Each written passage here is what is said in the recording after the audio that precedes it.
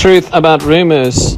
Prince Charles already told Prince Harry that he's not his dad. Prince Charles has allegedly informed Prince Harry that he's not his biological child. According to Globe, Prince Charles was forced to tell Prince Harry the truth because his wife, Meghan Markle, would not stop whining.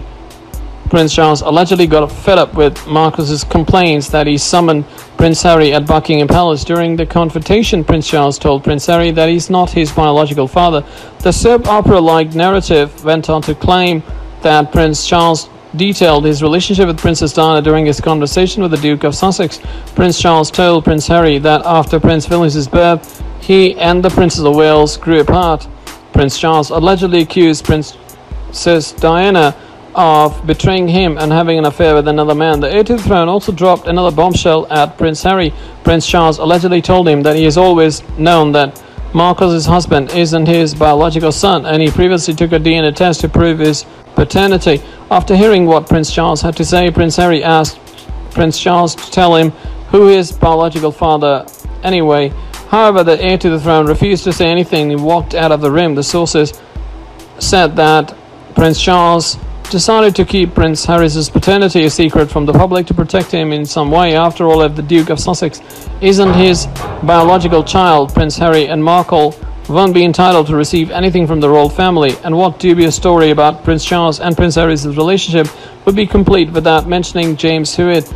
Princess Diana's former lover is allegedly the real father, of Prince Harry, but during this interview with the Telegraph, Hewitt denied the claims. He said he isn't related to Prince Harry, even though they are both gingers. In fact, Hewitt said that his affair with Princess Diana started after Prince Harry was born. This isn't the first time that Prince Harry is rumored to not be Prince Charles's real child. In the past, Globe claimed that Prince Harry's biological father is Welsh Guard officer Mark Dyer.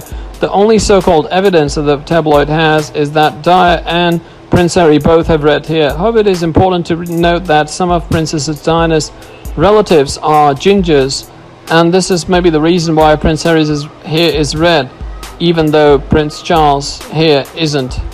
Queen Elizabeth allegedly turned favorite son Prince Andrew into a monster. Queen Elizabeth allegedly turned Prince Andrew into a monster because she spoiled him and indulged his cravings for wealth and women. According to Globe, Prince Andrew is the Queen's favorite son. As such, no matter what he did, the Queen would always let him off the hook. He was able to push the boundaries to the limit and beyond and get away with it, the source said. The Queen also allegedly tolerated Prince Andrew's non-stop partying and the monarch also allegedly funded her son's spendings. Andrew had the most privileged life anyone can imagine. Sure, the Queen spoiled him, but really he's to blame. He's an arrogant expletive with no sense of shame and will richly deserve what he gets. The Insider also details some of the shocking revelations in Nigel Cawthorne's book about the Duke of York. In Prince Andrew, The End of Monarchy and Epstein, Cawthorne said that Prince Andrew had temper tantrums as a kid. He was quite stubborn. That's why his nanny Mabel Anderson gave him the name Baby Grumpling. Andrew was always getting up to mischief, such as removing all the tubes from Mabel's radio or tying the sentry's shoelaces together. Somehow, Andrew was always forgiven, even when he sprinkled itching powder in his mother's bed or climbed onto the roof of Buckingham Palace to turn the TV antenna so that the Queen would not be able to watch the racing at Sandown Park. Cawthorne wrote by age 8, Prince Andrew became a bit of bully at his prep school in Heatherdown. And Gordonstoun, he was criticized for being boastful and big-headed. When he became a teenager, Prince Andrew realized how good-looking he was because a lot of women were attracted to him. The allegation allegedly turned Prince Andrew into a monster, where he would throw things to the ground and ask the guards to pick them up for him.